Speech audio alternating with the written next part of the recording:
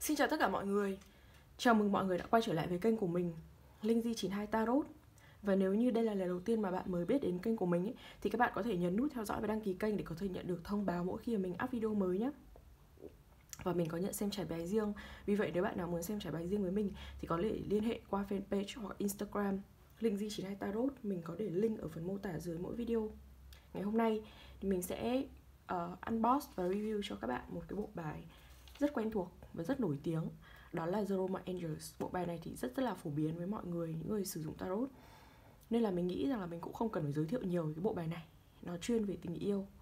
Đó thì nó đưa ra những cái lời khuyên khá là thực tế và cũng như là nó rất là um, dễ hiểu dành cho mọi người.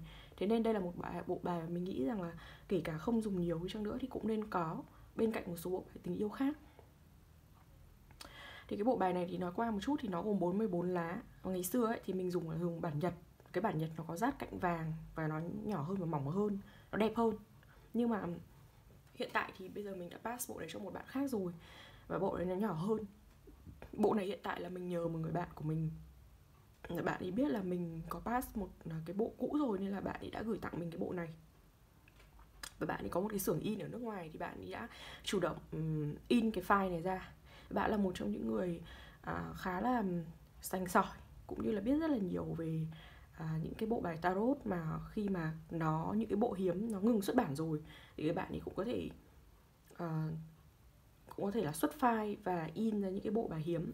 Thế nên là mình chỉ mua những cái bộ bài mà mình nhờ bạn ấy làm ấy bởi vì à, một số bộ đã ngừng xuất bản rồi thôi.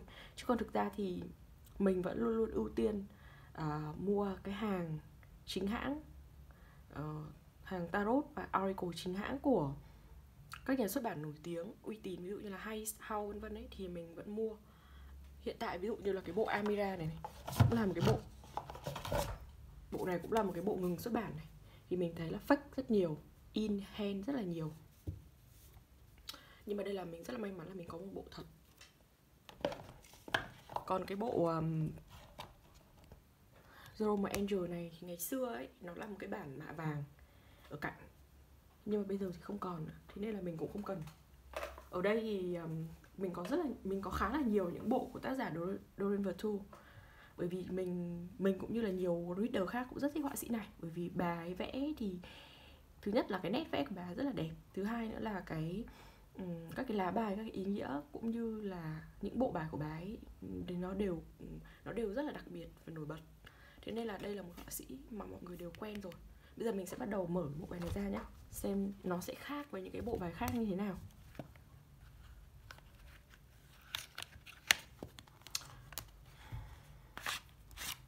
Đây, bộ bài này thì mình thấy rằng nó khá là to, là bay rất là to. Sáo rất, khi mà cháo rất là thích. Mình sáo ngang. Bây giờ thì mình sẽ cho mọi người nhìn qua một lượt các lá bài nhé các cái, cái lá bài này của mình thì nó không phải là cắn bóng mà nó cắn mờ cắn mịn ý.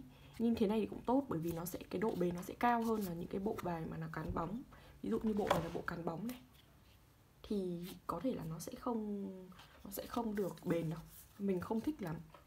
Mình thích cán kiểu này cũng đẹp. Nói chung là tùy ba tùy lá bài nhá tùy chất liệu. Có những cái bộ bài thì à, cán thế nào đẹp. Nhưng mà có một số bộ bài thì thì tùy theo cái màu sắc của nó cán cái gì đẹp thì thì nó lại phải tùy vào cái mắt thẩm mỹ của họa sĩ. Bây giờ thì mình sẽ cho mọi người xem qua các lá nhé mình vừa cháo lên rồi cho nên nó sẽ không theo thứ tự đâu. Attraction này. Forgiving and learning tha thứ và học học hỏi. Stay optimistic about your love life. Chắc là mình sẽ không phải dịch tiếng anh nữa nhá bởi vì chắc là mình nghĩ là cái bộ này nó rất là quen thuộc với mọi người rồi. Nên mình sẽ không dịch ra tiếng việt nữa. Codependency romantic feelings true love religious factors. Pay attention to the red flags damage, honeymoon heart to heart conversation. Love just effort unrequited love. Very soon separation playfulness let your friends have you. Word waiting for. Là này rất là hay. Wedding là này rất đẹp luôn. It is safe for you to love. Healing family issues, children, engagement, trust, reconciliation, new love. This could be the one calling in your soulmate chemistry. Keep an open mind. Let go of control issues. Getting to know each other. Free yourself. Make the effort. Give your relationship a chance. You deserve love, finesse, and career. Express your love. Love, deception. Past life relationship, passion, retreat và release your ex. Đây là một trong những bộ bài quá là nổi tiếng Mình không cần phải nói nhiều nữa đúng không? Nổi tiếng và đẹp và giá trị Cái tầng ý nghĩa của nó thì có lẽ là không có một bộ bài nào để sánh được về tình yêu ấy. Quá đẹp luôn Reader nào cũng cần. Um, Mình thấy rằng là cái bộ bài này là một trong những bộ bài xuất sắc Xuất sắc nhất mọi thời đại. Bây giờ thì mình như thường lệ thì mình sẽ trải cho mọi người bốn tụ. Thì hôm nay mình sẽ chỉ bốn tụ thì mỗi một tụ một lá thôi nhé chứ mình không trải nhiều nữa. Thông điệp để cho mọi người có thể biết được cái thông điệp đơn giản nhất có thể ngắn gọn nhất có thể và thông điệp mà các bạn cần là ngay bây giờ là gì. Mình sẽ zoom cái video nhỏ hơn một xíu ok? Bây giờ thì mình sẽ um, trải à, bốn uh, tụ tương đương với bốn lá bài nhé để xem là cái thông điệp mà các thiên thần tình yêu gửi đến cho mọi người là gì.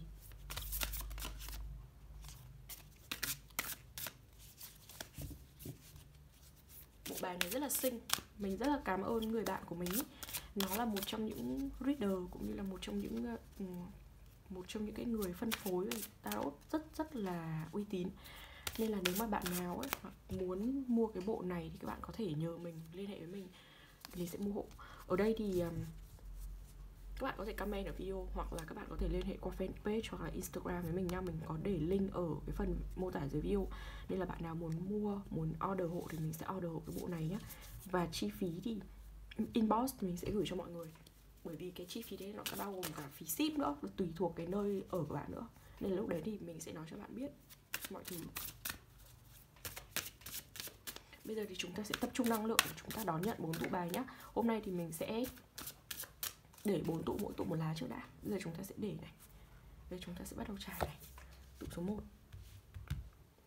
lá số 2 tụ số 2 số 3 và số 4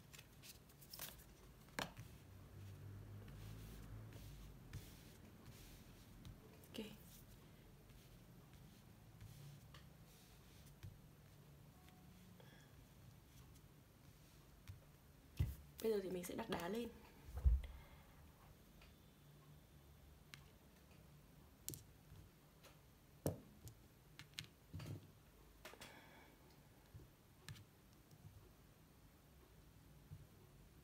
Ok.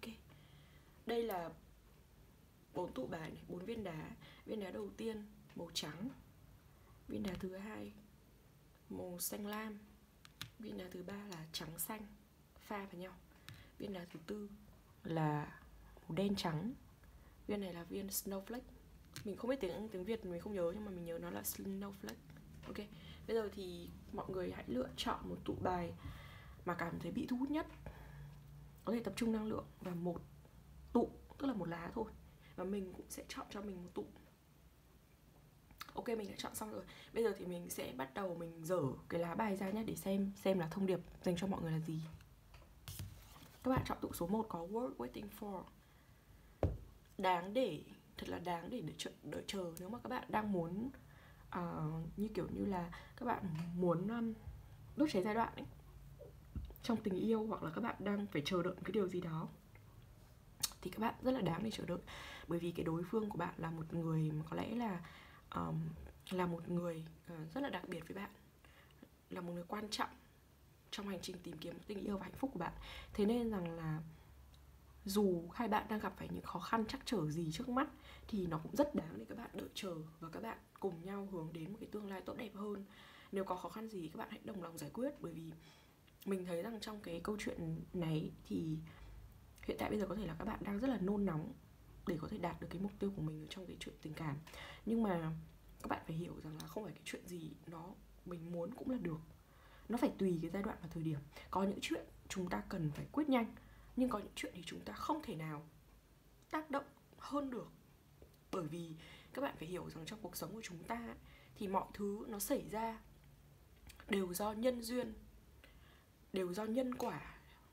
Nếu như bây giờ chúng ta cứ mong đợi những cái điều gì đó nó xảy ra vượt quá vượt quá, thì thì khó rất là khó. Bởi vì như mình đã nói rồi cái câu chuyện nó xảy ra ấy, nó phải hội tụ đầy đủ nhân duyên thì nó mới có thể xảy ra.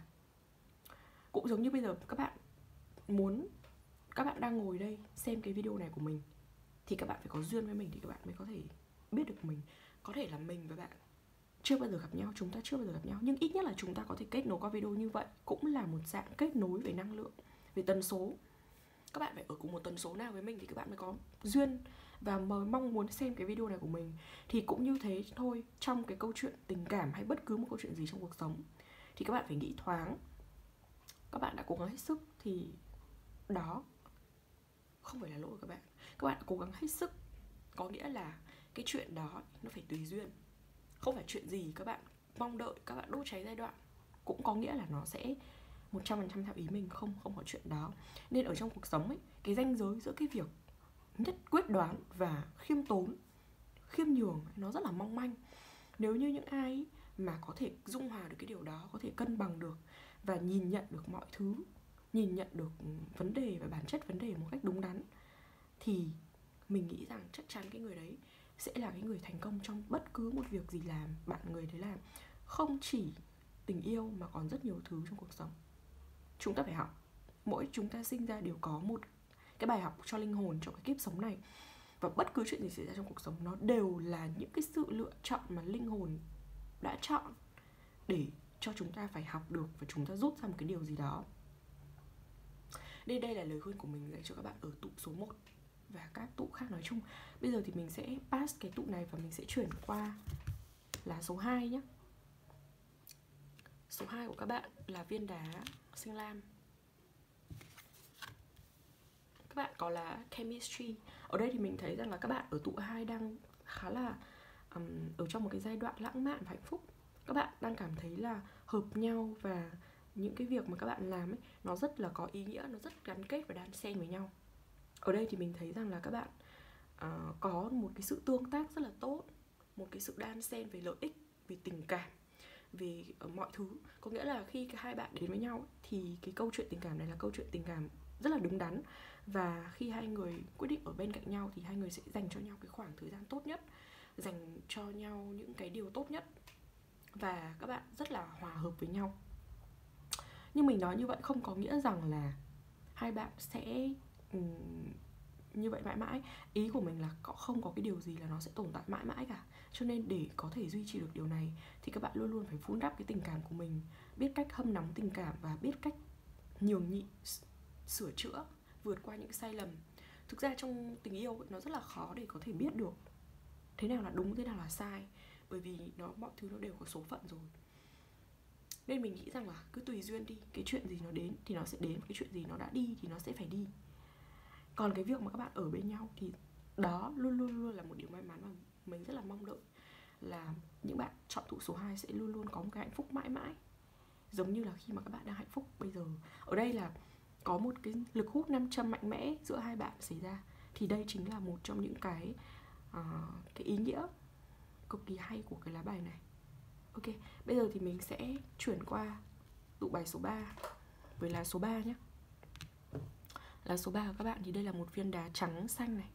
Mình sẽ để đây. Các bạn có flirt. Mình cảm giác như các bạn tụ bài số 3 nhé. Nếu như các bạn nếu như mà các bạn là ở thế bị động ấy, thì các bạn đang bị đối phương tán tỉnh ở trong một cái giai đoạn đang tán tỉnh tìm hiểu. Hoặc là nếu như mà các bạn đang ở thế chủ động thì có nghĩa là các bạn đang đi tán tỉnh một ai đó khác. Mình không kể giới tính nam hay nữ nhá. Mà ở đây là mà ở đây là có thể là cả hai giới. Các bạn đang ở trong một cái giai đoạn à, tìm hiểu nhau. Nhưng mà nhưng mà ở tìm hiểu chưa ở mức độ sâu và nó chưa ở mức độ nghiêm túc hẳn mà có thể là các bạn chỉ đang tán tỉnh ở một cái mức độ lãng mạn thôi. Và chưa thể nào mà chắc chắn là đây sẽ là cái câu chuyện nghiêm túc để tiến đến hôn nhân. Nên ở đây các bạn chọn tụ số 3 có lẽ là những người đang rất là trẻ. Có lẽ là các bạn đang ở hai k mấy sinh khoảng đấy. Thì các bạn um, đang ở trong giai đoạn đó thì các bạn nên tập trung vào việc học của các bạn nhiều hơn. Mình biết là các bạn uh, giai đoạn bây giờ tầm 2000 2000 linh mấy 2002 hay linh một đổ lên hoặc đổ xuống ấy thì các bạn là những thế hệ trẻ Gen Z và các bạn lớn trước tuổi suy nghĩ cũng trở thành chín chắn hơn rất là nhiều so với những thế hệ trước. Và mình biết cái điều đó bởi vì mình đọc được tâm tư của những bạn trẻ này bởi vì mình phần lớn là khách hàng của mình bây giờ phải 50% là Gen Z. Nên mình hiểu các bạn mình hiểu rằng là các bạn đang mong muốn cái điều gì trong cuộc sống và trong tình yêu. Cái việc yêu sớm ấy, nó cũng có rất nhiều những cái cái lợi nhưng nó cũng có một số những cái điểm bất cập mà các bạn nên cân bằng cái điều đó. Nếu như mà các bạn cân bằng được thì các bạn vẫn có thể um, phát triển được cái, cái việc học của mình cũng như là sự nghiệp của mình bên cạnh tình yêu. Yêu sớm hay yêu muộn không phải là sai quan trọng là đúng người và đúng thời điểm nhé ok vậy thì các bạn chọn dụ số 3 có thể biết được thông điệp của mình rồi. Các bạn hãy uh, hiểu rằng là cái giai đoạn này nếu như các bạn đang chỉ muốn xác định tán tỉnh ở một cái mức độ bình thường và chưa muốn tiến đến một cái điều gì nghiêm túc thì đó là sự lựa chọn của các bạn. Và lời khuyên là các bạn à, hãy chú ý những cái điều khác nữa những cái việc khác bên cạnh tình yêu bởi vì tình yêu nó rất quan trọng nhưng nó không phải là tất cả trong cuộc sống này. Các bạn vẫn còn có việc học công việc gia đình sức khỏe và đặc biệt là gia đình của các bạn. Các bạn đừng bao giờ để cho bố mẹ anh chị em phải phiền lòng bởi vì bố mẹ anh chị em là những người không thể thay thế được trong cuộc sống của các bạn. Các bạn có thể yêu người này lấy người kia không yêu người này không lấy người kia nhưng gia đình của các bạn thì chỉ có một thôi. Nên các bạn hãy cố gắng tập trung dành thời gian chăm sóc cho gia đình mình nhiều hơn nhé ok bây giờ mình sẽ chuyển qua tụ bài số 4 keep an open mind. Các bạn hãy um, giữ uh, cho mình một cái thái độ tích cực và lạc quan cởi mở. Ở đây thì câu này là your summit may differ from your usual type and expectation. Tức là mình thấy là các bạn chọn tụ số 4 ấy đang gặp phải đối phương, người này thì người đấy lại không phải là tuyếp người của bạn.